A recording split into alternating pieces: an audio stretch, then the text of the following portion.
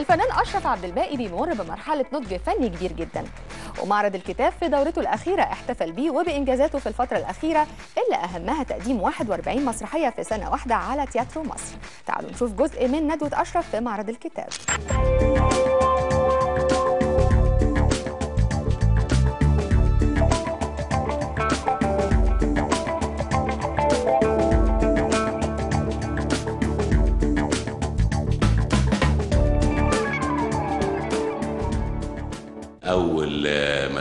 المسرح المدرسي في مدرسة النقراشي الثانوية. دي كانت هي أول علاقتي بالتمثيل آه، في منطقة حدائق القبة. كان ده إيه ده؟ ماشي. كانت آه، آه، مدرسة النقراشي بتتميز إن فيها مسرح كبير.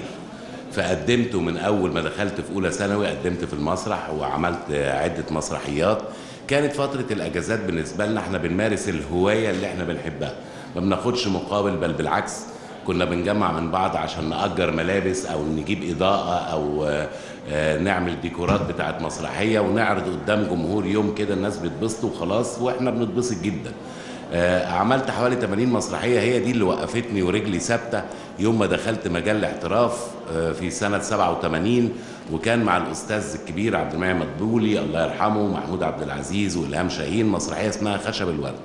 من خشب الورد بدأت المرحلة الثانية اللي هي مرحلة الانتشار. أي حد كان معدي بيعمل فيلم يقول لي تعالى بروح على طول. لغاية هم الناس عرفوني. بعد كده نوعا ما ابتديت أختار شوية. آه، آه، لغاية أما بقيت أخد أدوار بطولة والحمد لله. يعني دي كانت المرحلة الثالثة بقى اللي هي مرحلة ال- آه، الثقة للفن عرب ود كان ليها لقاء خاص مع النجم أشرف عبد الباقي. كلمنا فيه عن تكريمه في معرض الكتاب وتجربته الفنية الأخيرة خاصة في تياترو مصر. يلا نشوف هيقول إيه. طبعا مبسوط جدا إن أنا موجود في معرض الكتاب. آه، نوعية الجمهور اللي موجودة في معرض الكتاب هي مصر. يعني مصر كلها يعني آه، المثقفين والناس اللي ولادهم مثقفين واللي اهليهم مثقفين بتلاقيهم بيتجمعوا واللي خارجين شايفين الحكاية دي في حد ذاتها ممكن تبقى فسحة فكلهم بيبقوا جايين يعني نوعيات مختلفة من الجمهور آه، بتبقى موجودة. فكرة إن هم يتفاعلوا مع فنان ويسألوه في أسئلة وهو يرد عليهم ال- ال- التفاعل ده والتواصل ده ده بيفيد الفنان وبيوصل وجهة نظره لل- لل- للمتلقي بشكل كويس يعني. الفكرة كانت في دماغي لمدة سبع سنين بعرضها على أكتر من منتج ما حدش كان مستوعبها. وقت ما كنت أقول له أنا ومعايا شباب جديد مين الشباب الجداد دول؟ ما حدش يعرفهم. طب ما أجيب لك نجوم تانيين. آه وبعدين أقول له طب أنا عايز أعمل أعرض مسرحيتين في اليوم وكل أسبوع أشيل واحدة منهم وأحط مسرحية جديدة. الأسبوع التاني أشيل التانية وأحط واحدة جديدة. وبعدين أصور المسرحيتين وبعدين أشيل واحدة. فهو كان أي منتج بكلمه في كده بيحس إن أنا بتكلم في اللوغاريتمات يعني إيه وكل أسبوع يعني إيه إزاي تطلع مسرحية في أسبوع؟ آه، آه، وهعرضها ثلاث أيام وأعمل بروفات ثلاث أيام وآخد يوم اليوم ده للكتابة يعني ال- الفكرة كلها خيالية. لكن كنت مؤمن بيها جدا ومؤمن إن الشباب عندهم طاقة أكتر من الناس اللي خلاص بقوا مرحرحين. يعني فكرة التكييف ده مؤذي على فكرة. يعني الناس اللي بيتعودوا على التكييف دول ها؟ أنت عارف طبعا. آه، بيرحرحوا يعني. لا أنا عايز شباب عندهم طاقة الطاقة دي طلعوها في حاجة هم بيحبوها وبراهن بيها. وراهنت والحمد لله يعني ربنا كرمنا. آه، يمكن وقت ما بدأنا بدأنا آه، الجمهور كان قليل ما حدش عارف التجربة خالص.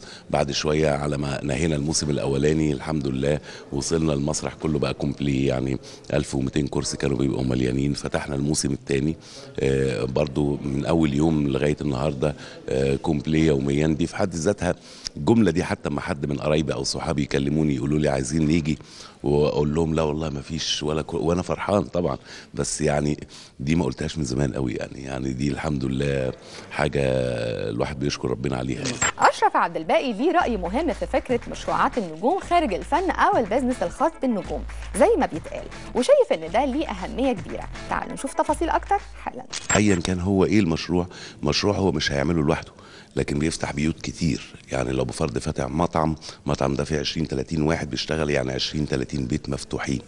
هم هو لو كسب اللي حواليه كمان هيكسبوا فيعني بالعكس بيستثمر فلوسه في حاجة مفيدة مش بيستثمرها في حاجة لا قدر الله وحشة يعني. حلم العالمية أكيد بيراود معظم نجوم الوطن العربي. وأكيد أشرف عبد الباقي ليه وجهة نظر في العالمية. وطبعا ليه فيها أحلام معينة. يا ترى قال إيه؟ مش مهم يبقى عالمي.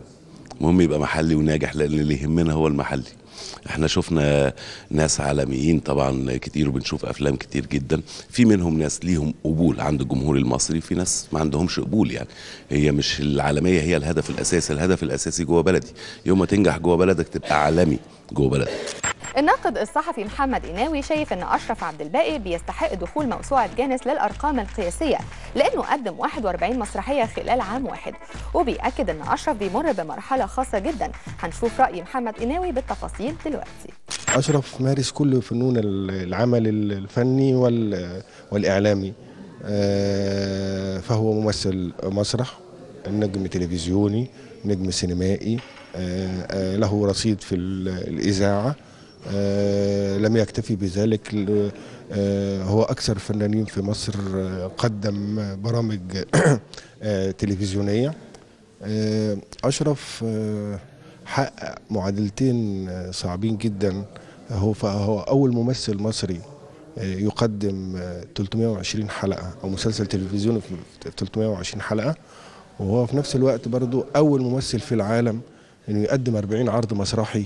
في عام واحد.